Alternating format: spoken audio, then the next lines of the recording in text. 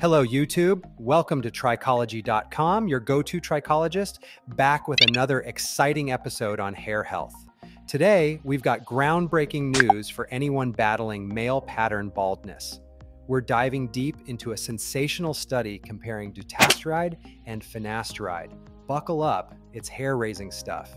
Now, we all know how male androgenic alopecia, or male pattern baldness, can be a thorn in the side for many. It's not just about losing hair, it's about losing confidence. But today, I've got some potentially life changing information. Let's get into the nitty gritty of this breakthrough study from South Korea.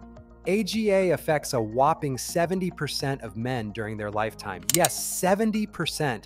It's characterized by that all too familiar receding hairline and thinning crown. Traditional treatments have been somewhat effective, but there's always room for improvement, right?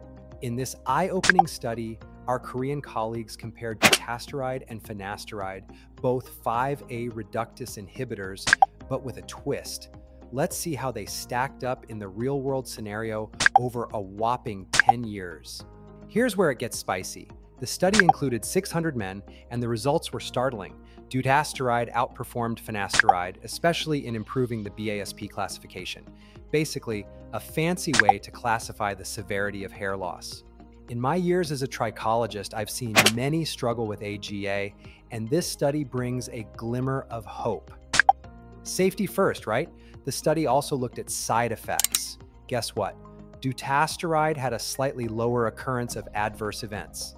Sexual dysfunction, a major concern with these treatments, was about the same for both drugs. Now let's talk Turkey. This study isn't without limitations. It's retrospective, after all. But the findings? They're like a breath of fresh air in the treatment of AGA. As your trusted hair doc, I see dutasteride as a game changer for many. All right, folks, that's a wrap on today's hair raising episode. If you're dealing with AGA, talk to your trichologist or dermatologist about dutasteride. It just might be the silver bullet you've been looking for. If you'd like to learn more about hair health backed with science, don't forget to like, comment, and subscribe.